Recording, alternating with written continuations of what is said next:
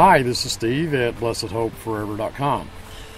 In these videos, we're studying together in the Epistle to the Romans, verse by verse, and in our last study together, we were discussing the profound truths presented us in chapter 7 how that the law is holy, just, and good, but the purpose of the law is to cause us to face up to the fact of our sinfulness and our weakness to accomplish its righteous standard through our own strength, through our own efforts.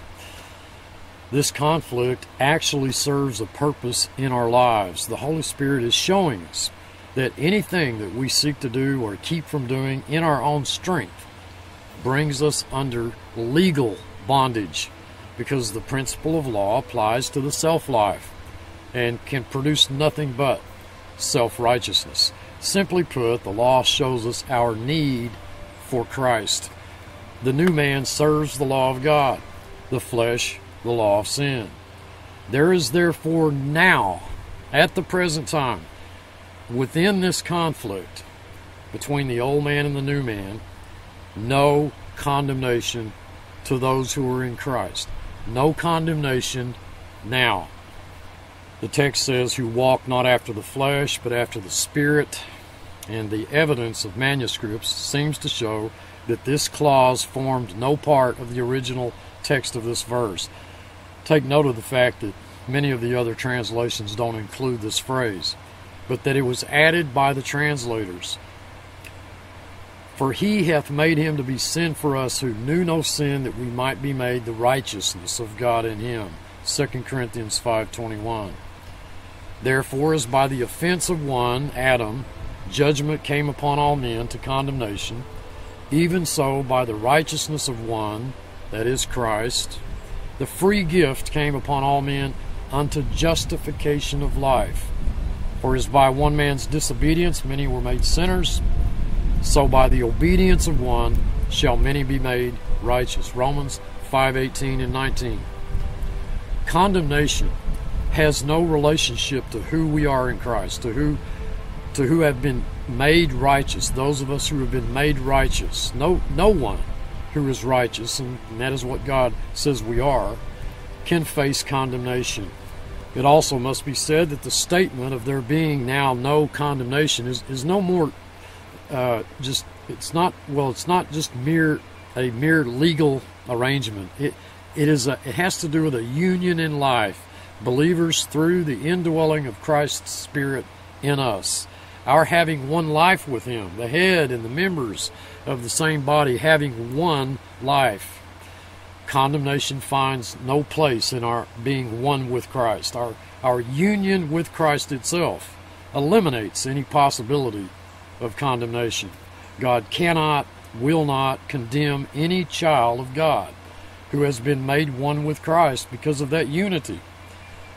Since there is no condemnation as it regards the corporate body of Christ, the body of Christ as a whole, no individual believer can face condemnation.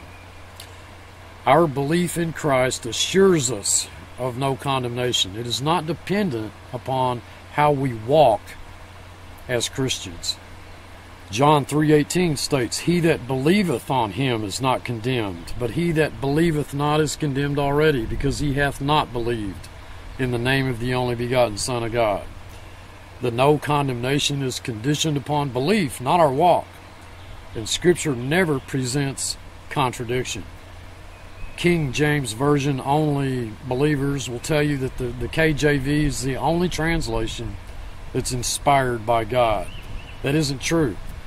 The King James Version is a translation just like any other.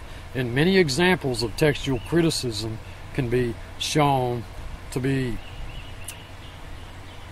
really added by the translators in even in the King James version. There, there's over 500 English translations alone.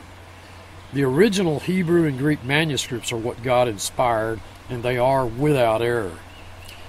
John 5:24 Verily verily I say unto you he that heareth my word and believeth on him that sent me hath everlasting life, and shall not come into condemnation, but is passed from death unto life. But no condemnation is conditioned upon belief, not our walk. So, in the midst of this conflict between the old man and the new man, there is therefore now, at the present time, no condemnation to those who are in Christ Jesus. Most of modern Christianity says we're working toward an end to become righteous. That's the predominant Protestant model. God declared He made us righteous right from the very beginning. We start off that way. We begin on that basis. That's we begin on that ground. When God declared He made you righteous, what kind of job do you suppose He did? God declared to the Israelites one time that they had made God altogether too much like themselves. Psalms 50:21. And every time I read that text, I think we've made God too much like us. Oh, God tries hard and sometimes he does a decent job. And some people he did a pretty good job with them, but boy, you look at some of the others and I don't know, you know, he made a mess of them. I mean, that's not the God that I know. Oh, Jerusalem, Jerusalem, which killest the prophets and stonest them that are sent unto thee. How often I wanted to gather your children together as a hen gathers her chicks under her wings, but you were not willing. Luke 13 34.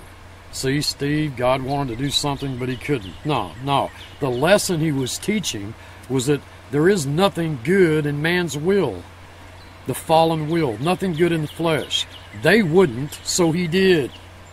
In fact, chapter 8 is going to close with whom he did predestinate, them he also called, and, and whom he called, them he also justified, and whom he justified, them he also glorified. There is now, in the midst of this conflict that we saw in chapter 7, no condemnation. How can there be condemnation if you're absolutely righteous?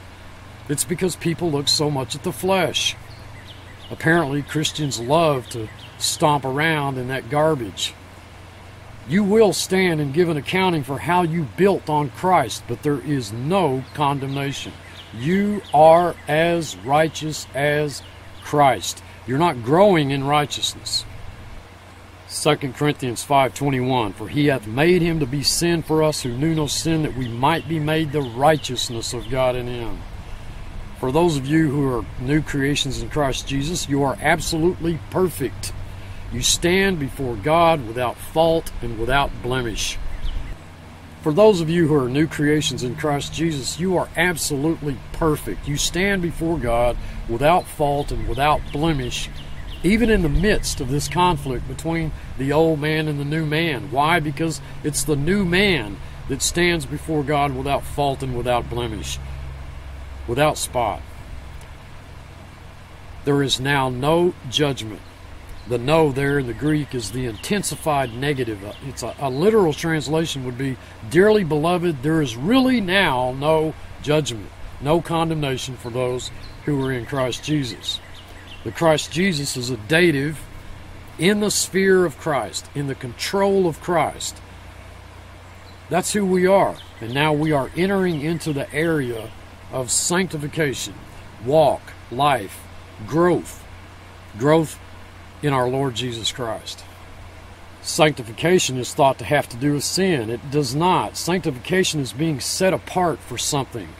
Now, some may argue that God set us apart from sin, but God didn't set you apart from sin. We were crucified with Christ, we died to sin. He set you apart, the new man, to Himself. Did He do a fair job of that? Did He set some of you apart more than He did others? The problem is we don't see the design of God. God had some design in an early death for Stephen and in a late death for Peter. God had design in the fact that Moses didn't believe him. Because you did not believe me, you will not enter rest, the promised land. Yet Moses was on the Mount of Transfiguration. God says he works in you both to will and to do of his good pleasure. I don't know what His purpose in your life is, but I know a God who knows. I know a God who has set you apart for Himself. Now, I do believe there is a growing awareness of that, but there's a fantastic difference between a growing awareness of sanctification and an increasing sanctification. Many good old theologians tell you, you know, you're sanctified, you are being sanctified, and you will be sanctified, past, present, and future. and I don't see how much they've thought that through. I believe you are slowly becoming aware of the fact that God has set you apart for Himself. If you want to look at that as progressive, well, go right ahead. Think of this the Almighty God, creator of heaven and earth, set you apart for Himself, and He's working in you to will and to do of His good pleasure. And what most of us want that to be is the strength of the, of the flesh rather than a yielding to the Spirit. You don't face condemnation because you are a new creation in Christ Jesus and you're set apart to the God of all glory, the sovereign, almighty God who makes no mistakes. He didn't set you apart partially. He set Paul apart from his mother's womb, and Paul didn't have much of a, a spiritual glimpse of that until he was an old man.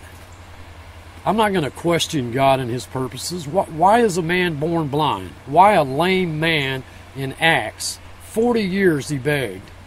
The redeemed Son of the Almighty Eternal God, creator of heaven and earth, the owner of the cattle on a thousand hills, and his child laid and begged for alms for 40 years. And people say, What kind of God is that? Well, he's a God of grace, of purpose, of design. Think of the reward of that beggar because he hadn't if he hadn't been there, Peter never could have preached his sermon. Is it worth 40 years of begging to have 3,000 people come to the knowledge of God's glory? Does God have a purpose? Believe me, dearly beloved, He does. He holds you in the palm of His hands. He bottles your tears. He, he knows the paths that you take. He said that after He's tested you, you shall come forth as gold. He directs you. He sustains you. But more than that, He loves you. Now, if you read through these verses where the word flesh appears in the text from, from the position that we're under law, law keeping as a rule of life, then you're going to view the word flesh as everything out there in the world that you were before you came to know Christ, outside the realm of Christian life and service. You know, that's just all that garbage that, you know, we used to be involved in or we see the world wallowing in. But when you come to understand that the Bible speaks of flesh as that which can and does operate inside the sphere of Christian life and service as well, that flesh is most often spoken of in the context of law, legalism, that God sees the flesh as a branch which operates in, in Christian service independently of the vine, that flesh is often referred to as a Christian's confidence in oneself, self confidence, dependence upon self. Then what, you, what you are reading all makes perfect sense we are now understanding the thought that the Holy Spirit intended to convey. I ask that you keep one thought in mind as I read the first 15 verses of chapter 8 that what the text is teaching us, what it is in fact teaching us, is that we do not live the Christian life in our own strength, which amounts to walking in the flesh according to law. There is therefore now no condemnation to them which are in Christ Jesus, who walk not after the flesh, but after the Spirit. For the law of the Spirit of life in Christ Jesus hath made me free from the law of sin and death. For what the law could not do, in that it was weak through the flesh, God sending his own Son in the likeness of sinful flesh and for sin condemned sin in the flesh, that the righteousness of the law might be fulfilled in us who walk not after the flesh, but after the Spirit.